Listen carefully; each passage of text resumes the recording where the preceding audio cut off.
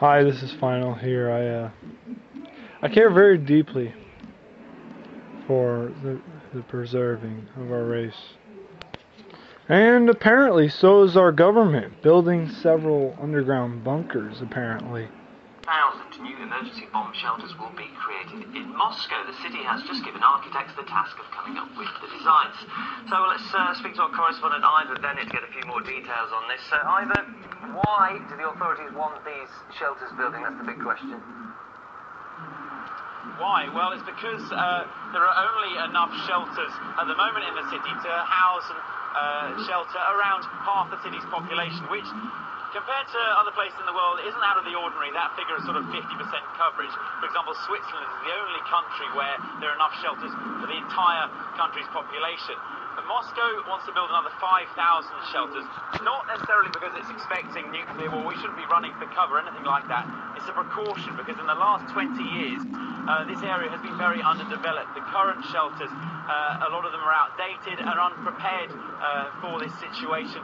A lot of them have been privatized, for example, and are now restaurants or bars. The Moscow metro system, that was specifically built, its stations specifically built very deep underground so they could double as air raid shelters. For example, the station I'm standing outside right now, Mayakovskaya station, that did just that during the Second World War. And in 1943, it famously uh, was the site where Stalin addressed party leaders and ordinary Muscovites in a Communist Party meeting uh, during the Second World War. Uh, but these shelters, uh, 5,000 will be built uh, because basically there aren't enough at the moment, and in the next two years, the plans uh, will be developed for their construction. Okay, so we've got the time frame, but uh, Ivor, where are they going to be located and what will they look like?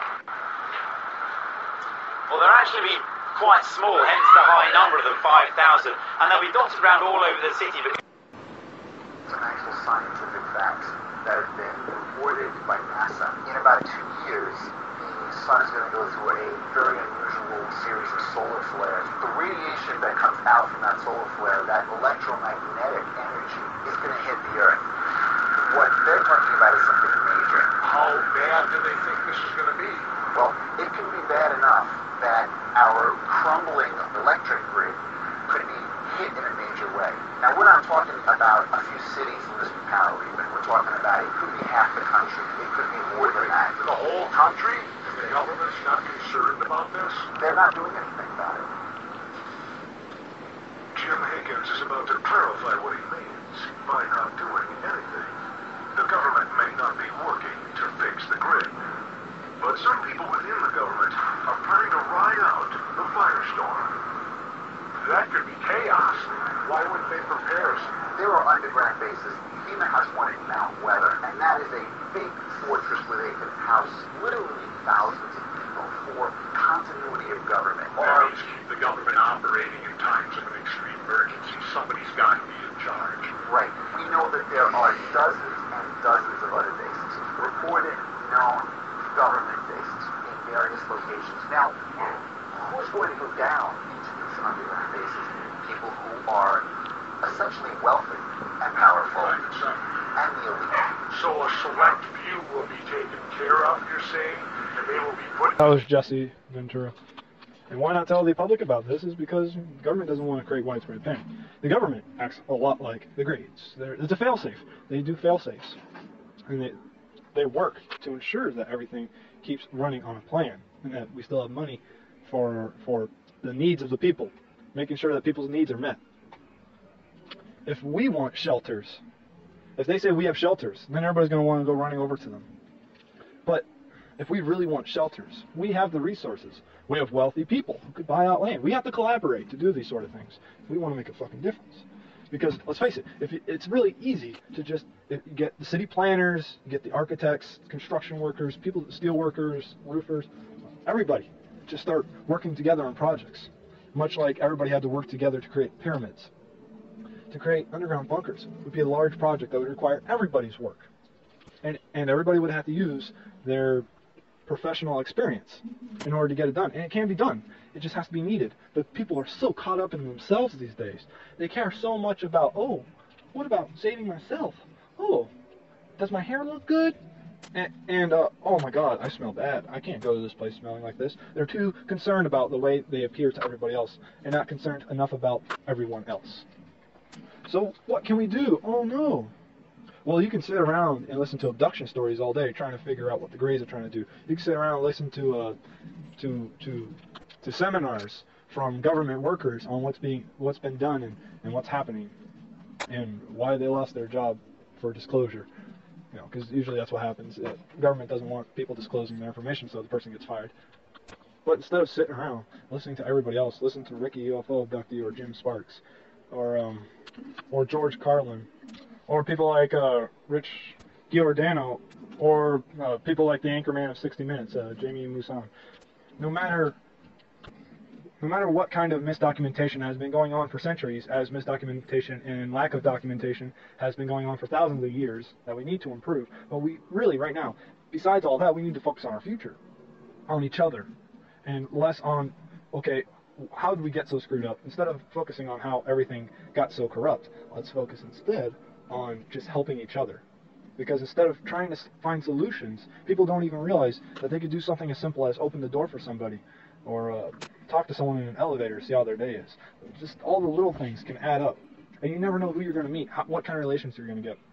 You may meet somebody who's high up in a government level, and you may suggest something to them that changes the entire country.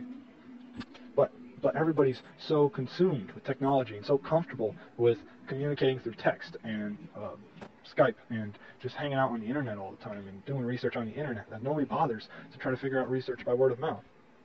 Because now this new revolutionized franchise of the internet that is still very young in its stage is just an explosion of information that people it's it's too much for them. So they spend a lot they waste a lot of time.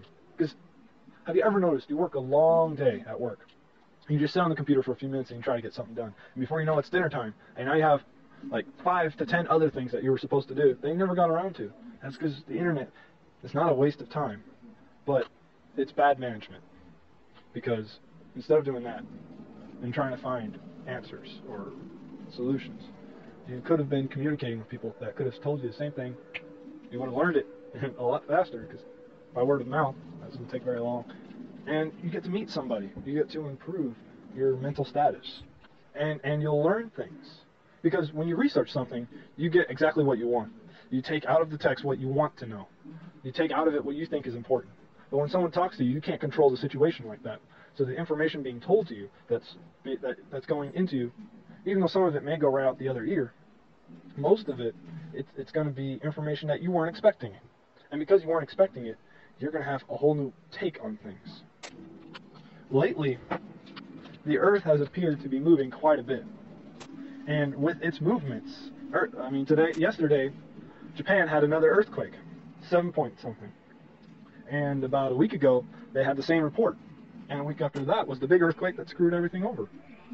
The one that caused the tsunami. So if you just pay attention to the world around you without having to even go on the internet, just you know, read the newspaper a little bit, talk to people, you'll see that there are things going on right now. There is no 2012 event that, that's going to spring forth and change everything. Because no matter what, even if something drastic did happen, we have so many fail-safes. Like I was saying, the government, they're our fail-safe.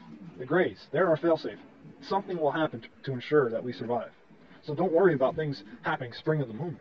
What you need to worry about is your relations. As the people, we are trying, because we are having budget problems, people are trying too hard to act as the government. So the, the regular people that are in government, it is pretty clear that they need to be doing a better job. But on the same token, people need to mind their own business. Because the way things are escalating right now, no matter what happens, we're going to end up screwing ourselves in the long run. Hypothetical situation. The poles shift.